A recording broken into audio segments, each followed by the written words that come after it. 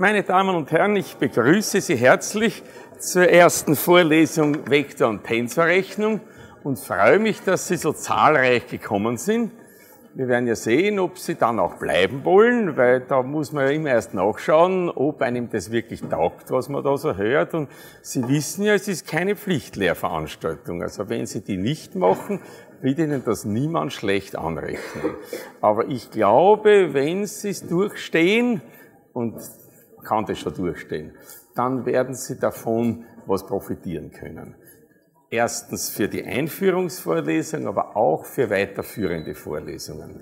Ich kann erzählen, dass ich äh, selbst diese Vorlesung begonnen habe vor vielen Jahren auf eigene Initiative, weil ich gefunden habe, dass in der Physikausbildung sehr wenig von Tensoren vorkommt. Und auf einmal haben alle gefunden, das muss man doch eh wissen. Und die haben mich gewundert, warum ich das nicht weiß. Und da haben wir gedacht, das wollen wir so machen, dass also die äh, Kolleginnen und Kollegen das dann eben schon wissen. Also daher Vektor- und Tensorrechnung. Nachdem das ja für Anfänger im ersten Semester von Anfang an immer gedacht war, fange ich auch quasi bei Adam und Eva an. Also natürlich die, wie man mit reellen Zahlen rechnet und solche Sachen, das davon gehe ich aus, dass Sie das. Aber äh, mit Vektoren, da wissen Sie jetzt sicher mehr, als was wir jetzt am Anfang machen. Und wenn Sie denken, nein Gott, das kenne ich eh schon alles, dann würde ich Sie um zwei Sachen bitten. Erstens, lassen Sie sich nicht sofort abschrecken, denken Sie sich, dort gehe ich gar nicht mehr hin. Das ist eh, was ich eh schon alles weiß. Weil es wird sich dann schnell so ändern, aufbauend auf dem und weitergehen, dass sie eben nicht mehr das alles wissen. Und eben das Zweite, schalten sie nicht einfach weg, weil sie versäumen unter Umständen den Punkt dann, wo sie einsteigen sollen. Das ist eine gefährliche Geschichte. Und auf einmal ist man dann hinten auch. Also nehmen Sie das auf sich, dass ich Ihnen jetzt noch einmal kurz erkläre, wie zwei Vektoren addiert und äh, mit einer Zahl multipliziert wird und so weiter. Das ist der Vollständigkeit halber, um halt auch klarlegen zu können, was unsere Basis ist, auf der wir stehen und wie wir halt mit der Akkuratesse eines Physikers und nicht eines Mathematikers einen Vektorraum definieren. Das ist dann unsere Ausgangssituation. Und dann werden wir beginnen, über Komponentenschreibweise zu sprechen und spätestens dann wird's neu für Sie. Weil dann kommen Ko- und Kontravariante Komponenten, dann kommt der Metriktensor und dann wird's lustig. Also das wollte ich Ihnen nur jetzt am Anfang ein bisschen voraussagen, damit Sie schon sehen, wie sich die Dinge entwickeln werden. Also, wie es halt so üblich ist, wir beginnen diese Vorlesung mit einer Einleitung.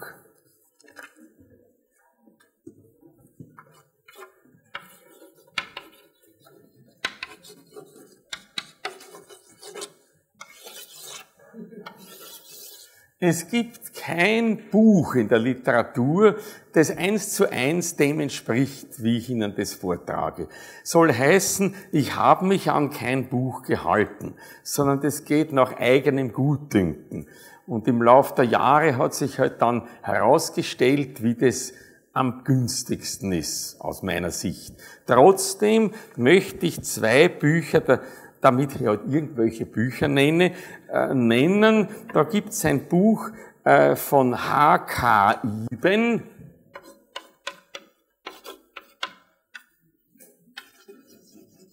und heißt Tensorrechnung.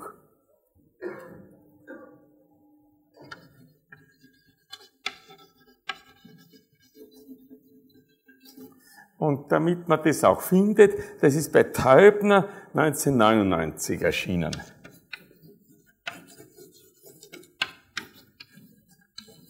Also das ist schon relativ lang her und Sie werden sich denken, so ein altes Zeug sagt er uns. Aber das ist ja kein Thema, an dem immer weiter geforscht wird.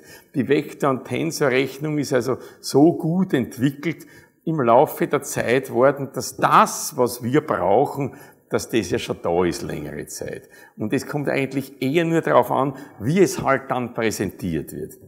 Der zweite, den ich nenne, ist AV Durand oder Durant, ich weiß nicht, wie er, wie er sich gern ausspricht.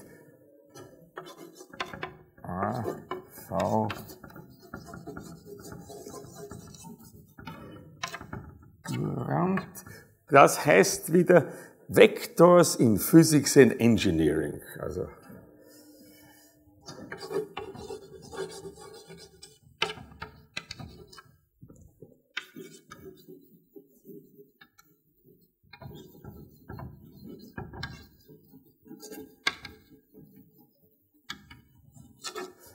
Das ist bei Chapman and Hall 1996 erschienen. Na, bleib stehen. Was ist da los?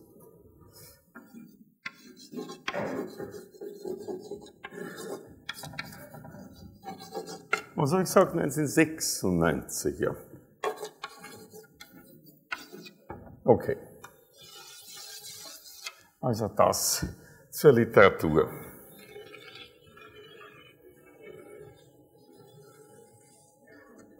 Und gestatten Sie mir jetzt also einige einleitende Bemerkungen äh, zum Stoff. Es gibt, wie Sie wissen, verschiedene Größen in der Physik, vor allem die Skalare und die Vektoren sind Ihnen schon bekannt. Skalare gibt sowas wie Temperatur, Druck, Energie, elektrische Ladung, Masse und das lässt sich fortsetzen. Und Vektoren gibt es auch sehr viele. Also die Geschwindigkeit, die Beschleunigung, der Impuls, die Kraft, die elektrische Feldstärke und das geht auch so weiter. Also diese Art von Größen sind sehr wichtig in der gesamten Physik und die sind natürlich sehr unterschiedlich, weil für einen Skalar braucht man nur eine Zahl, ihn zu beschreiben, für einen Vektor braucht man entsprechend viele Komponenten, wie die Raumdimensionen sind, und das sind eben drei. Und wenn es Vierervektoren sind in der Relativitätsmechanik, dann braucht man vier. Also dann braucht man halt mehr. Äh, und daneben gibt es aber auch Tensoren, von denen Sie wahrscheinlich noch nichts gehört haben. Und die werden wir einführen zunächst in einer Verallgemeinerung von den Vektoren. Und ich werde Ihnen auch gleich noch näher erklären, warum man sich mit Tensoren beschäftigt. Ich nenne Ihnen zum eine ein paar, äh, ohne dass ich noch erklärt habe, was ein Tensor eigentlich ist, zum Beispiel den Trägheitstensor oder den Spannungstensor. Da kommt das Wort eigentlich her. Die Tensoren sind letztlich auch eine Erfindung der Physiker. Das braucht man, wenn man den Spannungszustand eines elastischen, verformten Körpers äh, beschreiben möchte. Tendere ist das lateinische Wort für spannen. So der Spannungstensor ist komisch. Das ist ein Spannungsspanner sozusagen. Also Tensor ist dann das übergeordnete Wort, äh, das halt für alle derartige Gebilde gibt und den den Dielektrizitätstensor, den man wieder für die Kristalloptik braucht. Also die Physik ist auch durchsetzt mit mehreren Tensoren und äh, sind also auch Tensoren, die physikalischen Gegebenheiten entsprechen. Also nicht irgendeine mysteriöse mathematische Spitzfindigkeit. Sonst würde man sich damit ja nicht beschäftigen. Und wichtig ist, dass diese Vektoren und Tensoren unabhängig sein müssen von, dem, von der Wahl des jeweiligen Bezugs- oder Koordinatensystems. Wenn man von einem auf ein anderes Bezugssystem wechselt, dann wird sich im Allgemeinen bei den Vektoren eine Änderung der Komponenten ergeben, aber in einer solchen Weise, dass der Vektor als solcher der gleiche bleibt. Also wenn man zum Beispiel den Schwerkraftvektor betrachtet, das Gewicht eines Körpers, dann kommt es darauf an, was das für X, Y und Z Komponenten hatte, weil es kommt darauf an, wie man das Bezugssystem, das, das Basissystem wählt. Aber der Vektor als solche muss immer nach unten zeigen. Das wäre ja schrecklich, wenn man das ändert, man das und auf einmal zeigt er nach oben. Das wäre ja völlig unphysikalisch. Das heißt, die wichtige Eigenschaft, die Unabhängigkeit von dem Bezugs- bzw. Koordinatensystem ist ja eigentlich eine Trivialität. Das muss man ja verlangen von Größen, die man für physikalische Zwecke verwendet. Deswegen sind die Tensoren und Vektoren ja so wichtig in der Physik, weil die haben genau die Eigenschaft, die wir brauchen. Dass sie nämlich sich den Komponenten entsprechend so verändern, wenn man das Basissystem ändert, dass sie aber dann letztlich als physikalische Größe, zum Beispiel die Gewichtskraft, weiterhin nach unten zeigen. Also diese Eigenschaft haben die Vektoren und Tensoren. Notieren werden wir so, dass wir eine Größe schreiben mit einem Pfeil darüber. Ich glaube, das wird oft gemacht. Also A Pfeil ist ein Vektor. Dann schreiben wir meistens den Betrag, also die Länge eines Vektors, über das sprechen wir schon genauer, oft auch dann einfach als A. Lassen wir den Pfeil weg. Und der Pfeil hat den Vorteil, dass man zum Beispiel auch Vektoren verwenden kann, die mit griechischen Buchstaben bezeichnet sind, was sonst vielleicht nicht so leicht wäre. Also das ist die Notation, der, die wir verwenden werden. Und jetzt noch in wenigen Worten, was ist also die Motivation und Zielsetzung? Wo wollen wir hin in dieser Vorlesung? Was kann ich Ihnen also anbieten? Ich werde Ihnen den Tensorbegriff als Verallgemeinerung des Vektorbegriffs vorstellen. Aber nicht gleich morgen. Das braucht schon eine Zeit, eine Zeit, bis wir so weit sind. Da müssen wir erst lernen, wie die Vektoren sich richtig transformieren. Und dann verlangen wir einfach, die Tensoren sollen das auch können. Und so kommt man dann zum Tensorbegriff. Dann äh, Tensoren, warum sind sie wichtig? Weil sie, wie Sie sehen werden, den Zusammenhang zwischen verschiedenen oder die Zuordnung von verschiedenen Vektoren vermitteln. Jetzt werden Sie sich sagen, das können wir eh schon. Da brauchen wir keinen Tensor. Zum Beispiel der Impuls ist gleich Masse mal Geschwindigkeit. Da ordnet dem Impulsvektor die Geschwindigkeit zu und umgekehrt. Und die Masse ist halt der Skalar, der diese Zuordnung vermittelt. Aber das ist natürlich eine Sache, die nur dann gut geht, wenn die beiden Vektoren, die da einander zugeordnet werden sollen, parallel zueinander sind. Naja, das ist natürlich schon oft der Fall. Aber immer ist es nicht der Fall. Und man braucht gar nicht weit gehen. Das, was da bei dem linearen Impuls und der Geschwindigkeit so gut geht, weil die nämlich immer äh, parallel zueinander sind, geht beim Drehimpuls und der Winkelgeschwindigkeit nicht. Der Drehimpuls den muss man mit einem Tensor, den ich jetzt einmal, später nicht mehr, so bezeichne, mal dem Winkelgeschwindigkeitvektor. Warum braucht man da sowas?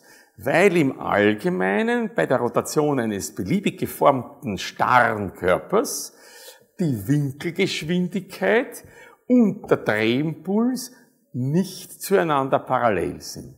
Also die Rolle der Masse wird hier von einem solchen Tensor äh, gemacht und der ist im Wesentlichen eine Matrix. Vielleicht haben Sie mit Matrizen noch keine Bekanntschaft gemacht. Wenn nicht, macht das nichts. Wenn schon, ist es auch gut. Aber nur einfach zu sagen, ein Tensor ist eine Matrix, ist zu wenig. Denn es muss diese Größe, diese Matrix auch sich so transformieren, dass diese Beziehung zwischen Winkelgeschwindigkeit und Drehimpuls auch richtig bleibt, wenn man eben zum Beispiel auf eine, andere Vektorbasis umtransformiert. Da müssen sich auch die Elemente dieser Matrix so mittransformieren, dass das alles wieder zusammenpasst und sie letztlich wieder dieselbe physikalische Realität damit beschreiben. Damit habe ich Ihnen schon viel davon gesagt, aber heute halt nur qualitativ, was eigentlich im Hintergrund steht bei der Vektor- und Tensorrechnung. Wir wollen die Sachen so gestalten, dass die da drin vorkommenden Größen alle im Sinn der Physik vernünftige Größen sind. Wir werden auch Pseudovektoren einführen. Das ist was Komisches. Da werden wir jetzt noch gar nicht weiter darüber reden. Nur diese Pseudovektoren, könnte man sich denken, wie sowas, wer braucht sowas? Aber das hängt zum Beispiel zusammen mit den Ihnen vielleicht aus der Schule noch bekannten Handregeln oder Schraubenregeln. Sie haben vielleicht schon mal gehört, wann eine Spule so von Strom durchflossen wird. Da muss man die rechte Hand so drüber legen und so geht dann das Magnetfeld. Haben Sie sich nicht manchmal gedacht, warum Sie der Herrgott das so ausgedacht hat, dass man ausgerechnet die rechte Hand nehmen? Was kann das dafür, dass man es nicht, müssen doch auch gehen. Das erkläre ich Ihnen. Und Sie werden sehen, dass das eine Frage der Festsetzung, der Definition ist. Wie so oft. Wenn man über irgendwas streitet, dann kommt man meistens drauf, das ist eine Frage der richtigen Definition. Und wenn man es ausführlich anschaut, kommt man drauf, es ist eh alles in Ordnung. Also das ist etwas, was im Zuge dieser Vektor- und Tensorrechnung auch vorkommen muss, natürlich. Dann kennen Sie sicher aus der Schule schon das Vektorprodukt. Das hat so einen Fisch, so einen Pseudofisch. Also, dass a mal b gleich a kreis b so ist und nicht a, b und a kreis b so, da haben sie schon wieder so eine Geschichte. Warum macht man das mit der rechten Hand und nicht mit der linken? Und auch da ist eine ähnliche Sache. Wenn Sie zwei Vektoren miteinander vektoriell multiplizieren, kommt siehe da ein Pseudovektor heraus. Und was das heißt, das werde ich Ihnen im ein, im, werde ich Ihnen eingehend erklären, weil ich weiß, dass das, obwohl sich das schon so hochspritzt anhört, was sehr Fundamentales ist, weil ich brauche Ihnen nur sagen, der Winkelgeschwindigkeitsvektor, und das ist ja wirklich nichts Hochstochenes, ein Vektor, der in der Richtung der Drehachse zeigt und dessen Länge gleich der Winkelgeschwindigkeit ist. Also das ist wirklich elementar. Das ist ein Pseudovektor. Und wenn man das nicht weiß, dann kann man mit den Dingen nicht professionell umgehen. Und das werde ich Ihnen also erzählen. Da zeigt sich dann, dass das ein bisschen ein anderes Transformationsverhalten hat. Transformationsverhalten ist das Um und Auf. Ich werde Ihnen also die Indexschreibweise nahebringen. Das fängt circa in zwei Wochen oder sowas an. Werden wir sehen. Und letzten Endes wird diese Vorlesung auch dazu dienen, dass Sie vorbereitet werden auf das Arbeiten mit krummlinigen Koordinaten. Zum Beispiel Kugelkoordinaten, Zylinderkoordinaten und ähnliches, was in der Physik extrem wichtig ist. Weil wenn ein physikalisches Problem zum Beispiel kugelsymmetrisch ist, meinetwegen ein, Massenpunkt wie die Sonne und umgeben von einem Feld, dann ist dieses Feld von äh, Kraftvektoren in der Umgebung der Sonne kugelsymmetrisch. Und daher wird man das vorzugsweise mit dem uns so, nicht mit dem uns so geläufigen kartesischen Koordinatensystem x, y, z beschreiben, sondern mit einem Kugelkoordinatensystem. Die ganzen Planetenbewegungen lassen sich nur gescheit äh, beschreiben, wenn man das mit Kugelkoordinaten macht. Also darauf sollen Sie für, auf die Verwendung von äh, krummliegenden Koordinaten sollen sie vorbereitet werden. Nur vorbereitet. Es wird, da bin ich noch nicht ganz sicher, im nächsten Semester dann ich die Vorlehre fortsetzen mit einem Teil 2, äh, äh, Vektor und Tensorrechnung 2 und dort werde ich Ihnen dann äh, das, Weg, das Arbeiten mit krummlinigen Koordinaten und die zugehörigen Begriffe, die dann wichtig sind, erklären dann wird es ein bisschen involvierter. Aber wenn Sie dieses Semester gut hinter sich haben, dann sind Sie so äh, gut drauf, dass Sie das also elegant packen werden. Also das ist unser Ziel. Jetzt aber wird die Geschichte viel elementarer. Und zwar, jetzt fangen wir einmal mit dem Vektorraum an.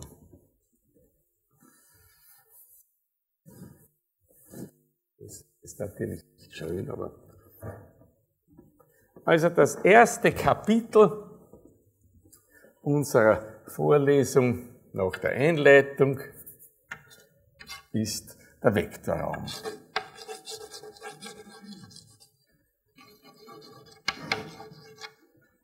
Der Vektorraum ist eine Menge von Elementen, die wir Vektoren nennen. Und wie gesagt, ich habe Ihnen schon angedeutet, ich werde nicht mit der Akkuratesse eines Mathematikers, sondern nur mit der eines Physikers an die Sache herangehen. Aber im Prinzip sollte das für so gut wie alle unsere Anwendungen reichen. Wir gehen davon aus, dass die Vektoren dadurch beschrieben werden, wie man sie miteinander verknüpfen kann. Und eine wichtige Verknüpfung ist die Summe von Vektoren. Das werden wir, so wie überhaupt, wo es immer nur geht in der Vorlesung alles, möglichst überall geometrisch einführen. Also auch diese Verknüpfung von Vektoren. Und wenn man also da so eine Summe C-Pfeil gleich A-Pfeil plus B-Pfeil betrachtet, dann kann man sich das geometrisch so veranschaulichen. Wir haben hier einen Vektor A-Pfeil, da einen Vektor B-Pfeil und wenn man jetzt den Vektor B an den Vektor A ansetzt, da so parallel verschiebt, das ist der Vektor B, dann ist der Vektor, der da von da herauf zeigt, der Vektor A-Pfeil plus B-Pfeil. Und Sie sehen natürlich gleich, man kann auch mit dem Vektor B anfangen und den Vektor A dann so dazulegen. Kommt auf das Gleiche heraus. Daher nennt man das auch die Parallelogrammregel und wir haben gleich bekommen, a plus b ist gleich b plus a. Schaut so trivial aus, aber das setzt dieses Parallelogramm da voraus und das ist also die Kommutativität. Dann gibt es eine Assoziativität, wenn man dass die Summe zweier Vektoren b und c zu, was ja wieder ein Vektor ist, zu dem Vektor a wieder äh, summiert, dann ist dasselbe, wie wenn man zuerst a und b summiert und dann c dazu nimmt.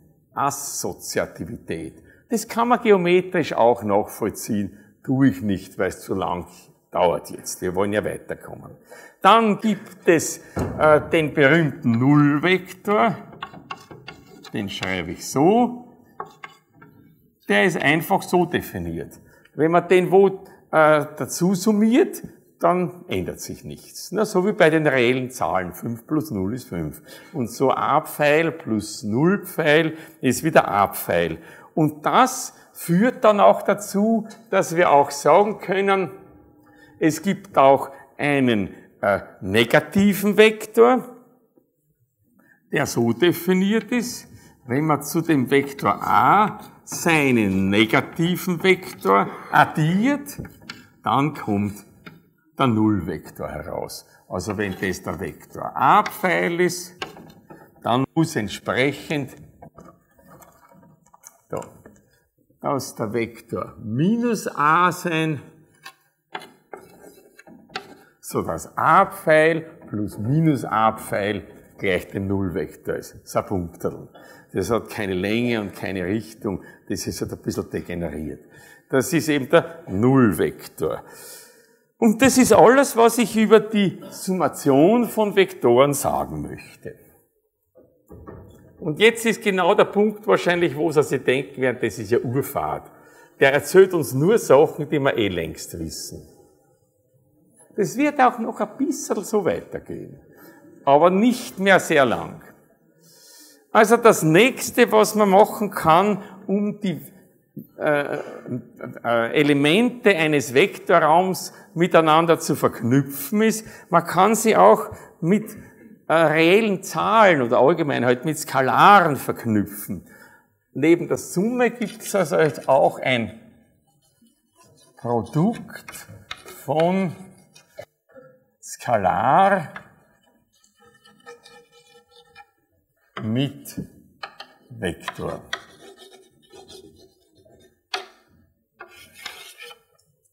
Na, das ist sehr einfach. Da gehen wir also davon aus, wir multiplizieren den Vektor mit einer Zahl. Wie kommt man darauf? Man kann zum Beispiel davon ausgehen, man nimmt einen Vektor A-Pfeil, ist ausgefallen, einen Vektor A-Pfeil plus noch einen Vektor A-Pfeil plus noch einen Vektor A-Pfeil. Und dann kann man natürlich sagen, die Summe der drei, schon so hintereinander angelegt, ist dann A-Pfeil plus A-Pfeil plus A-Pfeil und da liegt nahe zu sagen, 3 A-Pfeil. Und das geht aber jetzt nicht nur für äh, natürliche Zahlen, sondern ganz generell, wenn man einen Vektor A-Pfeil hat, dann ist der Vektor Lambda mal A-Pfeil ein Vektor, der in der gleichen Richtung zeigt und dessen Länge das Lambda-fache des Vektors a ist. Nachdem ich aber noch gar nichts jetzt über die Länge gesagt habe, lassen wir das einmal dort mit dahingestellt. Da brauchen wir noch ein bisschen was dazu. Aber trotz alledem, obwohl ich das jetzt noch nicht wirklich da geometrisch so zu Ende äh, äh, diskutieren kann, kann man trotzdem wieder einiges aussagen. Einige Rechenregeln, so wie hier, nicht? da haben wir so Rechenregeln gehabt, die Kommutativität, die Assoziativität, Nullvektor und so weiter. So machen wir das hier auch. Also zum Beispiel, einmal a ist gleich a. Das ist so eine Art Normierungsvorschrift. Wenn man den Vektor mit der Zahl 1, eine wohl definierte Zahl, multipliziert, dann bleibt es derselbe Vektor. Dann, wenn man zum Beispiel äh, einen Vektor Beta mal A-Pfeil betrachtet, und das ist ja wieder Vektor, dann mit Alpha multipliziert, dann ist dasselbe, wie wenn ich zuerst Alpha mit Beta multipliziere und das dann mit A-Pfeil. Ne? Hier haben wir das Produkt eines Vektors mit einem Skalar, doppelt so, und hier haben wir da die zwei Skalare multipliziert und multiplizieren hier dann mit dem Vektor. Das ist eine Assoziativität. Und dann gibt es noch zwei Distributivitäten. Die Summe zweier Vektoren, wenn man das multipliziert mit äh, einer Zahl Alpha, dann ist es Alpha mal A-Pfeil plus Alpha mal B-Pfeil. Da kann man also hinein multiplizieren. Das geht aber auch so, dass man das mit den Skalaren kann. Alpha plus Beta mal einem Vektor A-Pfeil ist Alpha mal A-Pfeil plus Beta mal A-Pfeil. Und da haben wir wieder so ein paar, ja, wieder ein paar so Rechenregeln. Auch wieder so, so typischerweise vier. Ne? Ja? Oh ja. Da. Ah, da! Gibt bei der Vektormultiplikation ein inverses Element? Naja, also einen inversen Vektor eins durch einen Vektor, das gibt es nicht.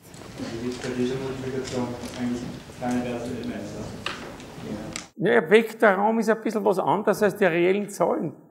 Die kennen nicht alles, aber dafür kennen sie wieder ein paar Sachen, was die reellen Zahlen nicht kennen. Nicht? Das ist halt so. Aber man kann nicht den Reziprokwert eines Vektors bilden. Wenn Sie jetzt einen Ausdruck finden, wo im Nenner ein Vektor steht, dann ist das irgendwie krankhaft. Was natürlich sein kann, ist, dass man ein Skalarprodukt zweier Vektoren hat. Auf das kommen wir gleich. Das ist dann eine Zahl. Und da können Sie auch eins durch das schreiben. Aber eine vektorielle Größe, die wirklich einen Vektor darstellt, die hat im Nenner nichts verloren. Okay. Wir kommen sowieso jetzt gerade dazu.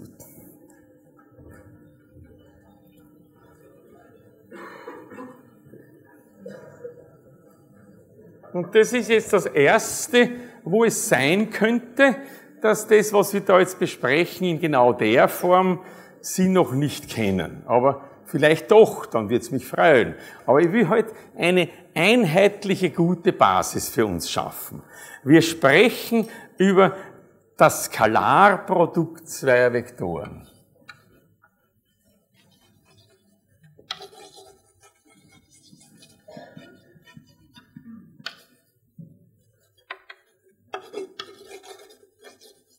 Und werden dieses auch geometrisch einführen. Indem wir also das mit einer anschaulichen Skizze erläutern. Skalarprodukt heißt das, weil man zwei Vektoren miteinander multipliziert und es kommt ein Skalar, also eine Zahl heraus. Es gibt dann auch, ich habe es auch vorhin schon mal kurz erwähnt, ein vektorielles Produkt, wo man zwei Vektoren miteinander multipliziert, es kommt ein Vektor heraus. Das lässt bei uns jetzt noch auf sich warten. Denn um das sauber einführen zu können, so dass man sie wirklich auskennt und auch diesen komischen Pseudocharakter, der da drin steckt, auch richtig charakterisieren kann, brauchen wir die Tensorrechnung bereits dazu, sonst geht das gar nicht und insbesondere einen Tensor dritter Stufe, den Epsilon-Tensor. Das will ich jetzt einmal nur so in den Raum stellen, nicht um Sie zu schrecken, sondern damit Sie sehen, da kommt jetzt einiges auf Sie zu und vor allem, warum erzählt er uns das nicht gleich jetzt? Wir werden hier nur das Skalarprodukt besprechen, weil ich noch nicht die Mittel habe, Ihnen das vektorielle Produkt in entsprechender Weise vorstellen zu können. Daher nur das Skalare. Es hat auch noch eine ganz merkwürdige Eigenheit.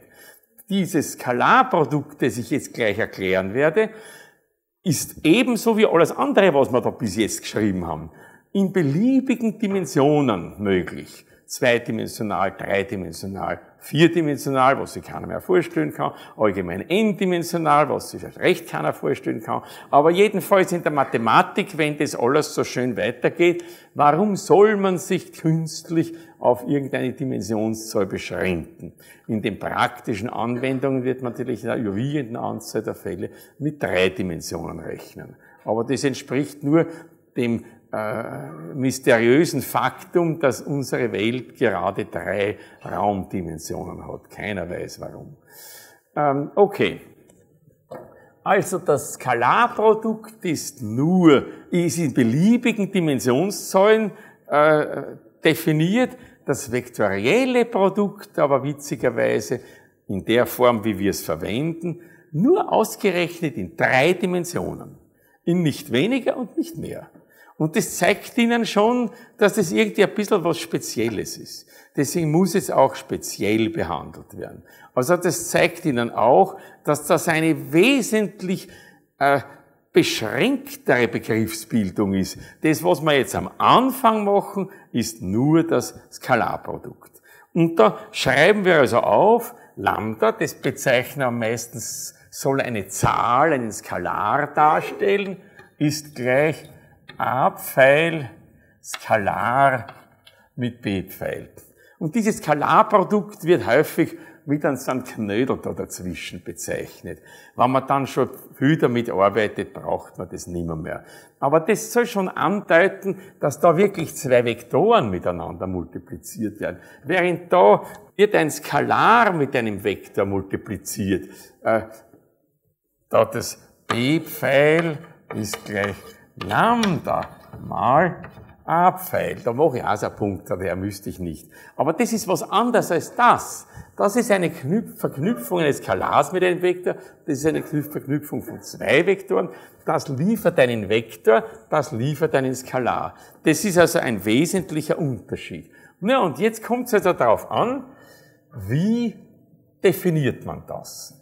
Und da möchte ich gleich dazu sagen, diese Definition die jetzt ich Ihnen zeigen werde und die also irgendwie die Basis äh, oder die Grundlage für die Definition des skalaren Produktes ist, die ist sehr stark an die Physik angeknüpft, weil der Arbeitsbegriff in der Mechanik, also eine Kraft, die äh, an einem Körper längs eines Weges eine Arbeit verrichtet. Das haben sicher dabei in der Vorlesung noch nicht gehört, aber aus der Schule werden Sie das kennen. Der Arbeitsbegriff, nicht? wenn man einen Koffer hebt und wohin stellt, hat man Arbeit geleistet. Dieser Arbeitsbegriff wird mit Hilfe des skalaren Produktes des Verschiebungsvektors und des Kraftvektors ausgerechnet. Das ist also eine geniale Sache. Das haben, ich möchte uns also nicht so wichtig machen, uns Physiker, aber das haben alles die Physiker eingeführt. Und die ja wirklich. Und waren aber auch recht tüchtige Mathematiker. Letztlich auch die Differentialrechnung ist zwar, äh, glaube ich, von Leibniz und Newton simultan eingeführt worden, aber die eigentliche Wurzel, die Motivation dafür liegt in der Physik dass man eben die Geschwindigkeit eines Körpers an einem bestimmten Zeitpunkt eindeutig bestimmen können soll. Das geht eben nur mit der Differential. Da kam es her. Dann haben sie natürlich gierig die Mathematiker draufgestürzt, haben das so gut wie möglich verallgemeinert, präziser dargestellt, Gott sei Dank. Da hat man jetzt wirklich ein gutes Werkzeug zur Verfügung. Also ich möchte keinesfalls das schlecht machen. Das ist ein Glück, dass das alles so gut durchgearbeitet ist. Aber vieles kommt aus der ursprünglichen Erfordernis der Physik auch dieses skalare Produkt. Lassen Sie mich das also aufzeichnen. Wir betrachten einen Vektor A und wir betrachten einen Vektor B. Die zeichne ich heute einmal jetzt so ein. Unterschiedliche Richtungen und wir zeichnen sie jetzt so ein, dass sie beide von einem Punkt ausgehen, den ich als O bezeichne. Und das Skalarprodukt dieser beiden Vektoren erhält man, indem man hier eine Normalprojektion dieses Vektors b auf a einführt, wobei das jetzt anschaulich klar sein soll, was da Normalprojektion heißt. Denn über Winkel habe ich ja noch nicht gesprochen, aber irgendwo müssen wir ja anfangen. Dann nenne ich den Endpunkt des Vektors a groß A, den Endpunkt des Vektors b groß B und diesen senkrecht herunterprojizierten Punkt mit b'. Den bezeichne ich so. Und jetzt bezeichnen wir das Skalarprodukt a Skalar mit b als die Länge des Vektors a, das ist also die Strecke OA, mal der Länge der Normalprojektion von B herunter auf die Richtung von A. Das ist also die Länge OB'. Und das ist es schon. So macht man das. Sollten Sie das schon kennen, dann können Sie es sehr freudig wiedererkennen. Sollten Sie es noch nicht, wer weiß das von Ihnen schon? Na doch, schon viele. Sehr gut. Also jedenfalls merken Sie sich's, Länge des einen Vektors mal Länge der Normalprojektion des zweiten auf den ersten. Jetzt stellt sich sofort die Frage, geht es auch umgekehrt? Was kommt dann raus? Ja, das geht natürlich. Da müssen wir dann den Vektor a auf die Richtung von b projizieren. Das geht so, dass wir dann hier äh, diesen diese Normalprojektion durchführen. Da einen rechten Winkel. Und da wird dann das A auf ein A' hier projiziert. Und jetzt kommt es darauf an, wie schaut das aus? Wenn wir jetzt B skalar mit A bilden, dann ist es die Länge des Vektors B, das ist OB, mal die Länge der Normalprojektion von A auf die Richtung von B, das ist OA'. Und jetzt ist natürlich sofort die Frage, Ist das jetzt dasselbe oder nicht? Und da kann man die Ähnlichkeit von Dreiecken heranziehen, um das festzustellen. Schauen Sie einmal. Die beiden Vektoren haben miteinander einen bestimmten Winkel. Und da haben Sie ein rechtwinkeliges Dreieck, wo der Winkel drin ist. Und da haben Sie ein rechtwinkeliges Dreieck, wo der Winkel drin ist. Daher müssen diese Dreiecke miteinander ähnlich sein. Weil nachdem die Winkelsumme 180 Grad ist, muss dann auch der dritte Winkel derselbe sein. Also sind diese, Winkel, sind diese Dreiecke ähnlich. Ich schreibe das da gleich daneben. Das Dreieck OAA' ist ähnlich dem Dreieck OBB'. OBB'. OAA'. Die sind ähnlich zueinander. Na, wenn die ähnlich sind, dann kann man sofort eine entsprechende Ähnlichkeitsrelation aufstellen. Also, OB' zu OB, OB', das ist eine Kathete zu OB, das ist die Hypotenuse, entspricht auch OA' zu OA.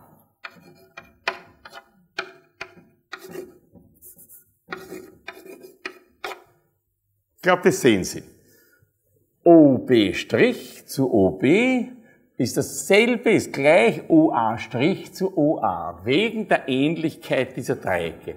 Na, da sehen Sie schon, es hat man doch die Geschichte mit Außenglieder multiplizieren und Innenglieder.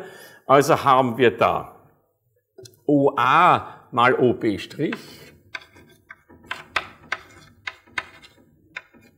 das folgt daraus, ist gleich, und jetzt OB mal OA'. Und genau das brauchen wir.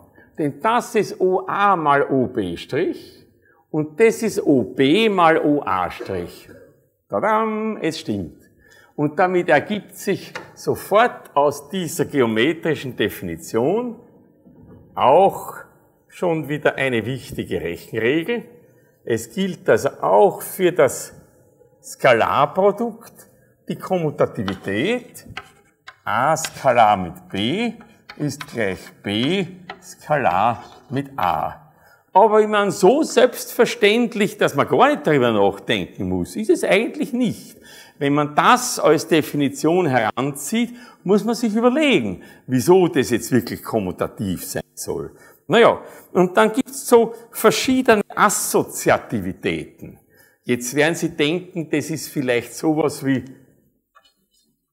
a mal b mal c ist gleich a mal b mal c. Kommt Ihnen das sinnvoll vor? Kann das sein? Das ist als Produkt zwei Vektoren, Skalarprodukt, ein Skalar. Und der wird mit dem Vektor multipliziert, nicht als Skalarprodukt. Und dann haben Sie daher wieder einen Vektor, der wieder mit dem Skalar multipliziert wird. Das heißt, es schaut so aus, als ob a immer parallel zu c sein müsste. Und das wollen wir ja nicht immer voraussetzen müssen. Also das ist eine sinnlose Sache. So hintereinander setzen, so dass man letzten Endes so sowas kriegt wie a Skalar mit b, Skalar mit c. Das ist Nonsens weil eben das Skalarprodukt zwei Vektoren einen Skalar ergibt, den man dann nicht mehr wieder als Skalarprodukt mit einem weiteren Vektor multiplizieren kann. Dann hätte man das Produkt eines Skalars mit einem Vektor. Das ist aber was anderes als das Skalarprodukt. Ich glaube, Sie verstehen mich. Also das ist nichts. Aber es gibt schon Assoziativitäten. Äh, und zwar also eine Assoziativität. Alpha mal A Pfeil, tun wir das einmal so zusammen, mal B Pfeil ist auch gleich Alpha mal A-Pfeil, Skalar B-Pfeil. Da können Sie die Klammern umsetzen. Und das ergibt einen Sinn, weil Alpha mal A-Pfeil ist das Produkt eines Skalars, wo ist er? Mit einem Vektor, ist wieder ein Vektor. Und der wird Skalar mit dem Vektor b multipliziert, kommt das Skalar heraus. Und da haben sie dann Skalar multipliziert mit dem Skalarprodukt von a und b, kommt wieder ein Skalar heraus. Also das kommt hin, bitte. Ich eine Frage, was ist, wenn man vier Vektoren hernehmen? Ja, das lässt sich dann fortsetzen, natürlich. Ist ja trotzdem ein aus. Wo wollen Sie vier? Hier? Oder hier? Oder was meinen Sie? A, B, C und D.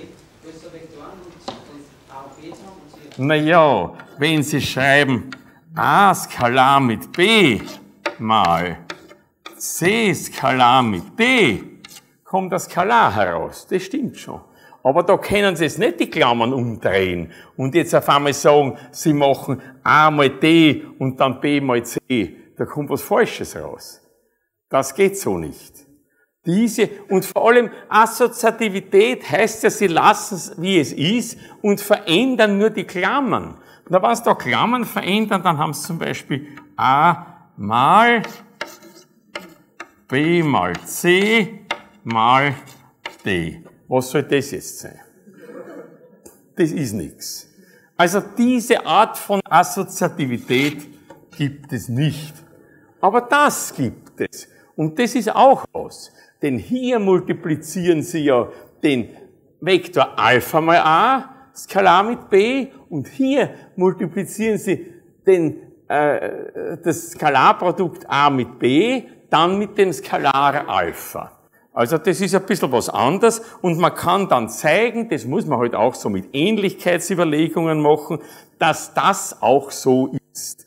Da kann man lauter solche Zeichnungen machen, das ist ein bisschen umständlicher, aber Sie glauben mir schon, dass man das machen kann. Oder Sie können es ja probieren, wenn Sie nichts anderes zu tun haben, gerade am Studienanfang hat man eh nichts zu tun. Nicht? Dann setzen Sie sich hier und versuchen das. Nicht? Gut. Dann gibt es eine, es gibt zwei, es gibt eine Distributivität. A-Pfeil Skalar mit B plus C. Das ist gleich A-Pfeil B-Pfeil plus A-Pfeil C-Pfeil. Jetzt habe ich mit dem ganzen Klumpert mal die Tafel zusammen. Na gut. Ich will Sie mit sowas halt nur warnen, was man nicht machen soll. Können Sie Nein multiplizieren? A mal B plus A mal C. Eine solche Distributivität gibt es also. Naja, und dann haben wir noch was. Wenn man A Skalar mit B hat, und das ist gleich Null. Jetzt nicht der Nullvektor. Wo, wo gibt's einen Nullvektor? Wo haben wir den einen? Wo war denn einer? Da ist zum Beispiel einer. Ne? Das ist ja eine Zahl, weil das Skalarprodukt zwei Vektoren ist eine Zahl, die Zahl Null. Dann ist keineswegs gesagt, dass irgendeiner der beiden Vektoren der Nullvektor ist. Es genügt ja, wie Sie wissen, dass die beiden nur normal aufeinander stehen müssen und das wird schon Null. Das werden wir schon alles noch genauer anschauen. Aber jedenfalls, wenn das Null ist und außerdem das B-Pfeil beliebig wählbar und es bleibt immer Null, dann muss auch das A-Pfeil gleich dem Nullvektor sein. Und dann gibt man wieder so viele Regeln einander.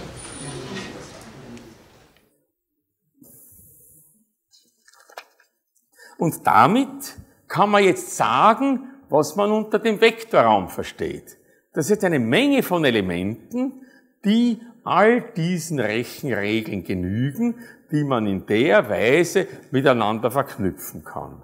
Das kann alles Mögliche sein. Jedenfalls aber auch die Vektoren unserer Anschauung. Denn mit denen haben wir ja diese Rechenregeln gerade aufgestellt. Und damit ist also das erste, ist da, ja? Gibt es hier ein neutrales Element bei der Skalarprodukt? Was meinen Sie damit? Also wenn man einen Einheitsvektor multipliziert, dass dasselbe Vektor nochmal herauskommt. Nein. da es auf die Richtung ankommt. Nein, es gibt ein paar Sachen nicht bei den Vektoren. Also darauf ist eben zu achten. Deswegen ist es auch ganz gut, ich bin froh für solche Bemerkungen, ich wäre auf sowas gar nicht kommen, aber Sie haben völlig recht, äh, um eben hier eine solide Basis zu legen. Sie sehen, was geht und was nicht geht. Das, was geht, steht da und die anderen gehen nicht. Und so unterscheiden sich halt die Vektoren von Zahlen. Reelle Zahlen haben andere Eigenschaften. Natürlich schon manchmal ähnlich, zum Beispiel die Kommutativität. Wo haben wir denn das gehabt? A mal B ist B mal A. Das haben wir hier aufgeschrieben. A mal B ist B mal A, 5 mal 3 ist 3 mal 5. Das gilt auch bei den reellen Zahlen. Also alles weg ist nicht, aber es ist halt ein bisschen anders. Und das entspricht halt der anderen Struktur eines Vektorraums, der anderen Verwendung von Vektoren. Also, wir haben hier jetzt den Vektorraum für unsere Zwecke genau genug, so definiert, dass das eine Menge von Elementen ist, äh, die diesen Verknüpfungsregeln genügen. Und diese Elemente nennt man dann Vektoren.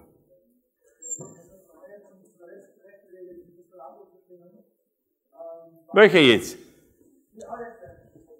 Die da? Ähm, das, wenn a mal b gleich 0 ist und b beliebig gewählt ist, warum folgt darauf, dass a 0 ist, dass, dass a 0 Vektor ist? Das ist doch abhängig vom Winkel eingeschlossen, ist das nicht? Naja, überlegen Sie einmal. Wenn a mal b gleich 0 ist und Sie können einen beliebig gelegten Vektor b machen, dann muss ja a gleich 0 sein, sonst kann das ja nicht 0 werden. Verstehen Sie? Und das kann man also aus der Geometrie sofort erkennen, aber dann hier eben als Rechenregel aufschreiben. Und hier wird also erstmals das gemacht, was wir dann noch ein paar Mal machen werden. Wir kehren den Spieß um und sagen jetzt, jetzt gehen wir umgekehrt her, rammen einmal die ganze Geometrie auf die Seite und sagen, Vektoren sind Elemente eines Vektorraums die diesen Verknüpfungen genügen. Und das reicht uns. Damit kann man alles ausrechnen, was man will. Aber natürlich bleiben immer die Vektoren für uns im Hinterkopf, so Pfeile mit Länge und Richtung und so weiter. So, also dann kommen wir jetzt nach dem Vektorraum beim Drittel, dritten Kapitel.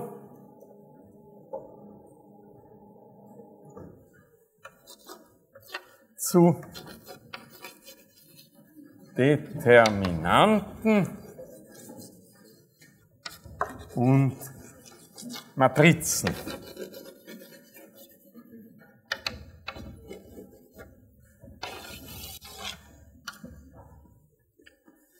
Da muss zuerst einmal klargestellt werden, was ist überhaupt eine Matrix und was ist eine Determinante. Eine Matrix das ist ganz allgemein einfach eine rechteckige Anordnung von Zahlen. Also zum Beispiel so in großen Klammern schreibt man das hinein. 5, 3, minus 4, 0, 0, 2, 1. Das ist eine 2 mal 3 Matrix. Wir werden in weiterer Folge nur quadratische Matrizen betrachten hier, wo also die Anzahl der Zeilen und die Anzahl der Spalten gleich groß sind. Also ab jetzt nur quadratische Matrizen. Naja, und dann ist zum Begriff der Matrix jetzt gar nicht mehr mehr zu sagen für uns, aber was wichtig ist für uns, ist, wie man dann einer solchen Matrix eine einzelne Zahl zuordnet nämlich ihre Determinante. Das geht bei quadratischen Matrizen und das wollen wir jetzt einmal Schritt für Schritt einführen. Eine 2 mal 2 Matrix nehmen wir zunächst einmal her und rechnen uns, definieren uns einmal die zugehörige Determinante. Das schreibt man als Determinante von und dann haben wir halt, schreiben wir mal so, A, B, C, D. zwei Zeilen, zwei Spalten. Eine quadratische 2x2-Matrix. Und das definiert man jetzt, indem man sagt, dass nach rechts unten kriegt ein Plus, das nach links unten kriegt ein Minus und das ist AD minus BC.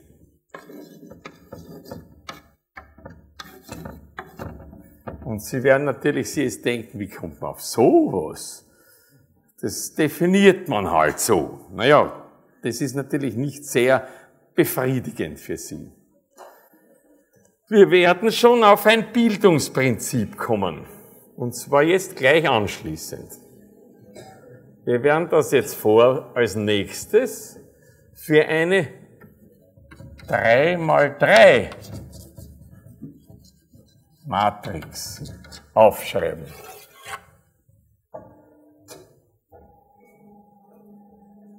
Und da schreiben wir aber jetzt nicht A, B, C, D, E, F, G, H, I, weil da gehen einem dann sehr rasch die Buchstaben aus.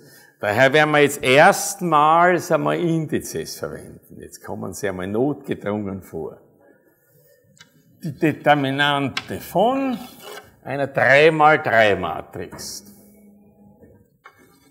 A11, A12, A13, A21, A22, A23 und A31, A32 und A33.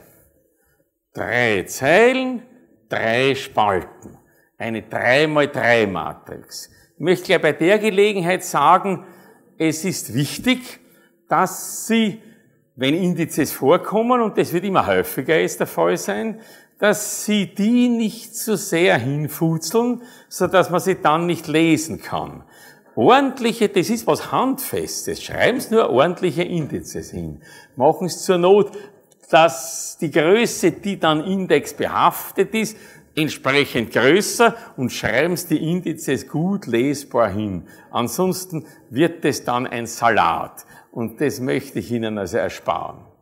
Na, um hier also da die Determinanze zu bestimmen, hat der Herr Sarü die Idee gehabt, die ersten zwei Spalten noch einmal dazu zu schreiben. Also, da kommt noch einmal A1, 1, A1, 2. Dann A2, 1, A2, 2 und A3, A32 vor. Und sonst machen wir wieder ganz was ähnliches wie hier. Nach rechts unten Plus. Das geht da noch einmal. Und letzten Endes auch hier. Und nach links unten Minus. minus, minus, minus. Und das kann man wieder entsprechend aufschreiben. Und das tun wir jetzt. Wir schreiben diese Summanden alle auf. Einmal die positiven. Also das ist gleich. A1, 1, A2, 2, A3, 3.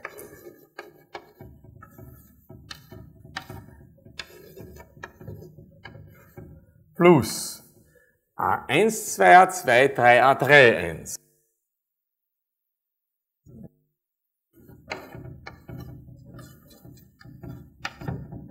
Plus A1, 3, A2, 1. A 3, 2. Und jetzt geht's weiter mit Minus. Noch einmal so viele. Insgesamt sechs solche Produkte kommen da vor.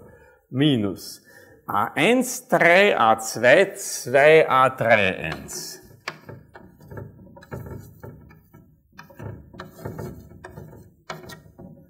Minus A11, A23, A32.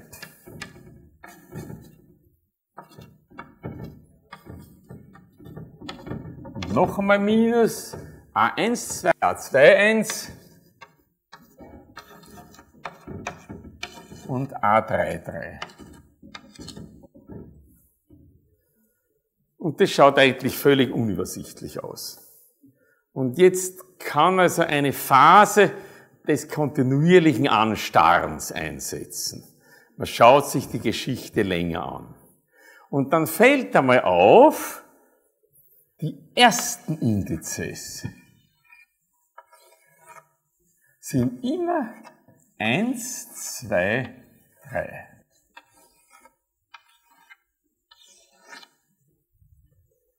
Auch hier.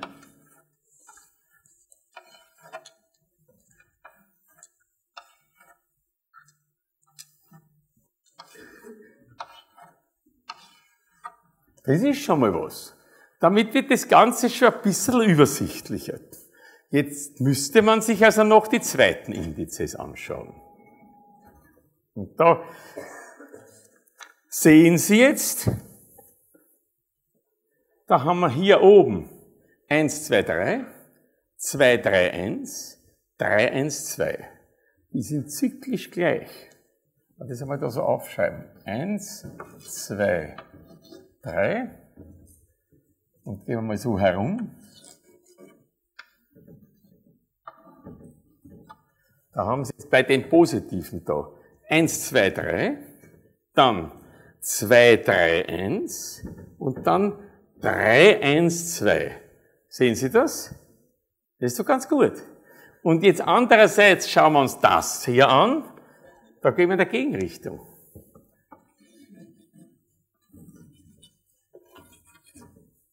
Also, was haben wir da? 3, 2, 1. 3, 2, 1. 1, 3, 2. 1, 3, 2.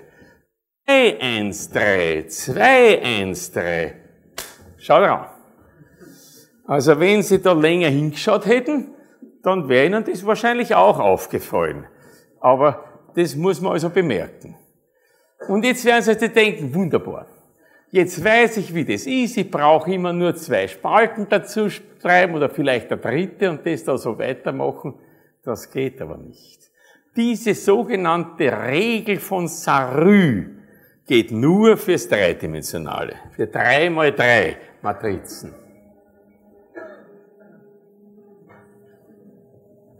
Da verwendet man, kann man verwenden die Regel von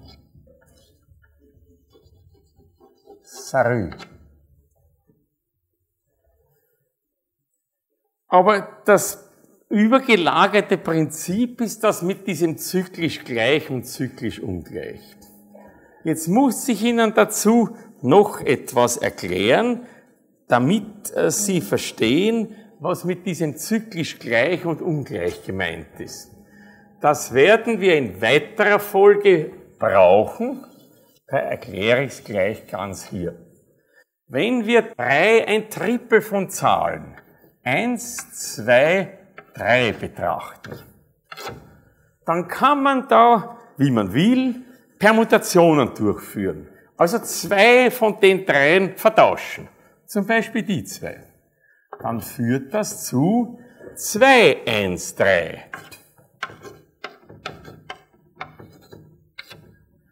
Na, wenn ich jetzt wieder dieselben vertauscht, ist ja nichts, kommen wir wieder daher. Also vertauschen wir zum Beispiel einmal die.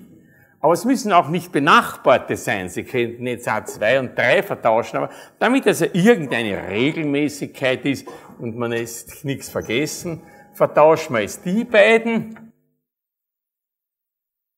zu 2, 3, 1. Das geht so weiter. Jetzt werden wir wieder die ersten zwei vertauschen. Und dann kommen wir zu 3, 2, 1. Und jetzt wieder die zweiten zwei. 3, 1, 2. Und jetzt wieder die ersten zwei. 1, 3, 2. Und jetzt die zweiten wieder. und Sie kommen auf 1, 2, 3. Das hatten wir schon. Da haben wir angefangen. 1, 2, 3, 4, 5, 6 unterschiedliche Permutationen gibt es. Der Zahlen 1, 2, 3. Ist das überraschend? Nein.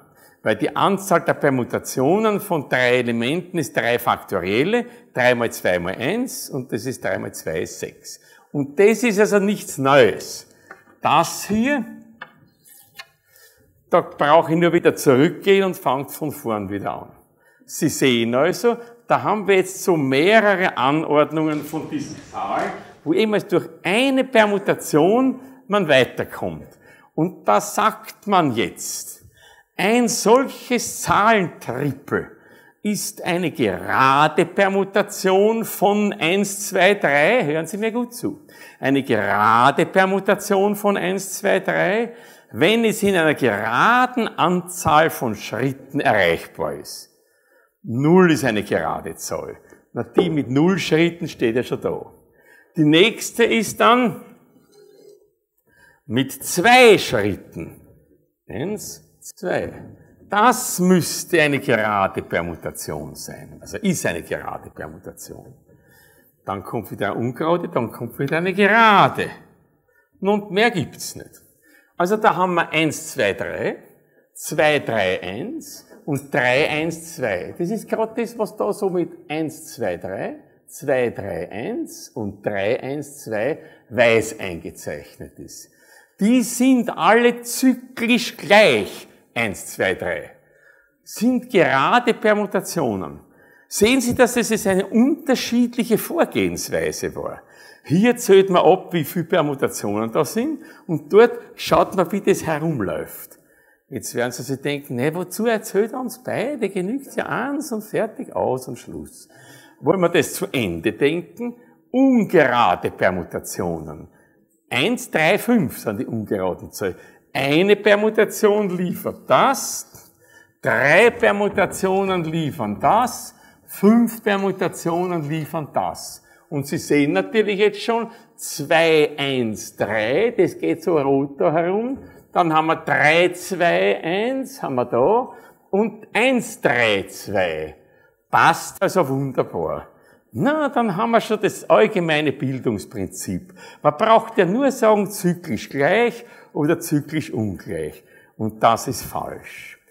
Denn wenn man jetzt zu Vieren geht, eine 4 mal 4 Matrix zum Beispiel betrachtet, wie viel so Permutationen haben wir denn dann, wenn wir die so aufschreiben wollen?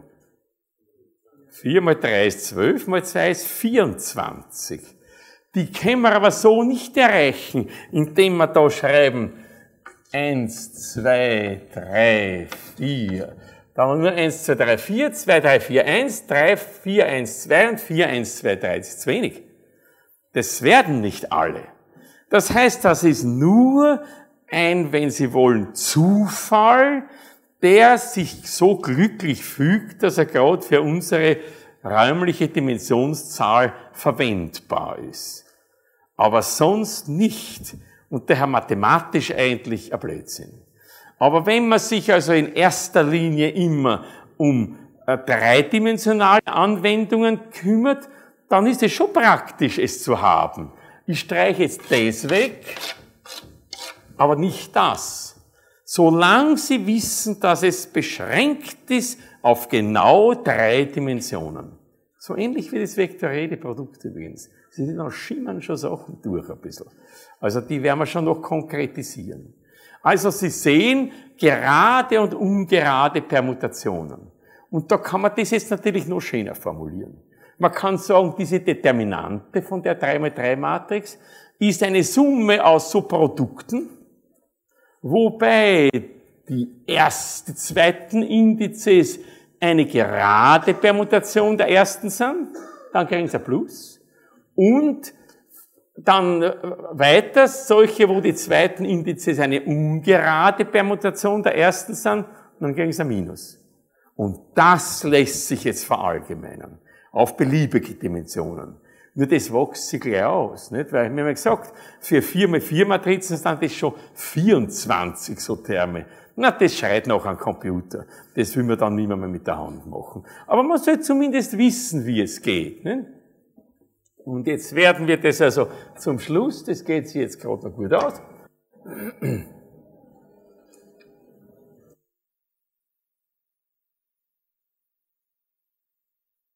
Aufschreiben. Eine n mal n Matrix. Also da schreiben wir auf Determinante von und da haben wir A1, 1 bis A1, n und AN, 1 bis ANN. Und jetzt brauchen wir das nur, so wie wir es gesagt haben, mit Summen aufschreiben. Das ist also gleich eine Summe, wo wir uns jetzt diese Permutationen so aufschreiben müssen. Wir schreiben also dann auf, das ist eine Summe über A1 Alpha, A2 Beta bis AN Omega. Derart, dass dieses Alpha bis Omega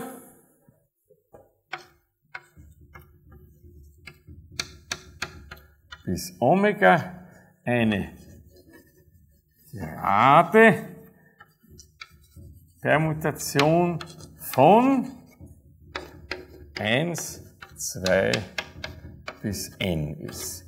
Vermeiden Sie es bitte, einmal zu sagen immer dann eine gerade Permutation oder das ist eine ungerade Permutation. Wovon? Es geht ja immer daraus an, wo man anfängt zu permutieren. Meistens wird man mit 1, 2, 3 anfangen, aber es ist günstiger und klarer, wenn Sie sagen, eine gerade Permutation von 1, 2, 3. Oder eine ungerade Permutation von 1, 2, 3. Mehr gibt's nicht, nur gerade oder ungerade. Das ist das eine. Und jetzt kommt Minus. Wieder so eine Summe. A1 Alpha A2 Beta bis AN Omega, wobei jetzt die Alpha, Beta bis Omega eine ungerade Permutation von 1, 2, bis n. Und damit ist die äh, Determinante einer n mal n Matrix eindeutig definiert. Und Sie haben bei der Gelegenheit gleich dazugelernt, was es mit den geraden und ungeraden Permutationen einer bestimmten Ausgangspermutation auf sich hat und was man mit zyklisch gleich und zyklisch ungleich meint. Und dass Sie sich gleich vormerken, so im Hinterkopf, dieses zyklisch gleich und zyklisch ungleich geht nur in drei Dimensionen. Es zeigt sich, wir leben in einem dreidimensionalen Raum und da passt es also. Haben wir Glück gehabt. So, jetzt aber würde ich sagen, reicht's für heute.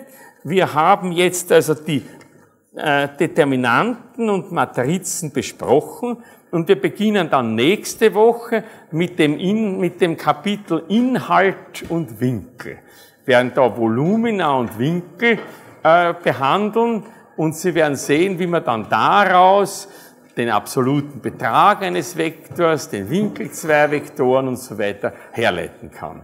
Ich danke Ihnen für die Aufmerksamkeit. Wiedersehen.